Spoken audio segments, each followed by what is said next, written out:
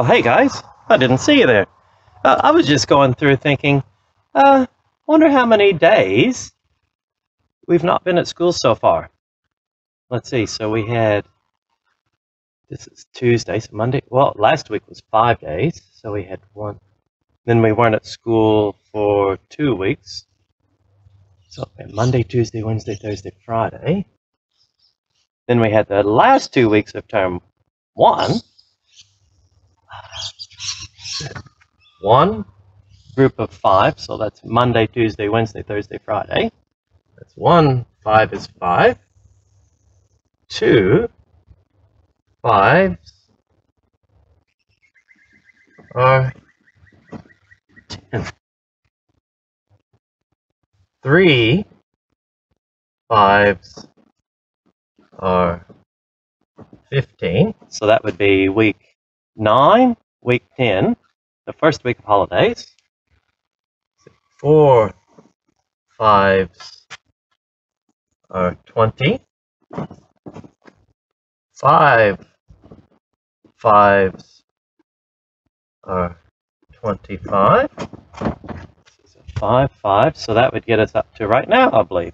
So we had week 9, week 10, first week of holiday, second week of holiday, last week. Yeah. So if we go another five weeks, that would be six fives are uh, 30. All right. Seven fives are uh, 35. Eight fives are uh, 40. Hmm. Nine fives are 45. Can't see that though, can you? And 10 fives are 50. So that'd make it a little bit easier to count, wouldn't it? Um, just so happens I know a song about that. Let me grab my ukulele. The song I was telling you about goes something like this.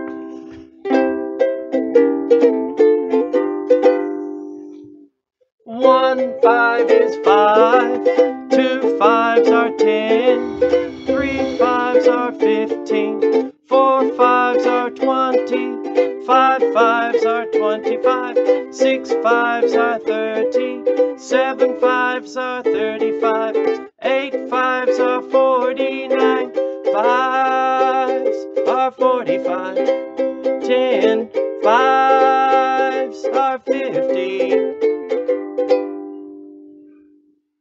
Doesn't sound right, does it? We better add a couple more. 11 fives are 50.